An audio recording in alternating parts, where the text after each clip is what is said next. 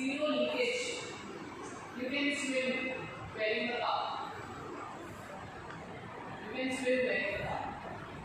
The difference with the pad is this has to be inserted in the vagina. Okay? That is the biggest issue. You don't want to put anything over there.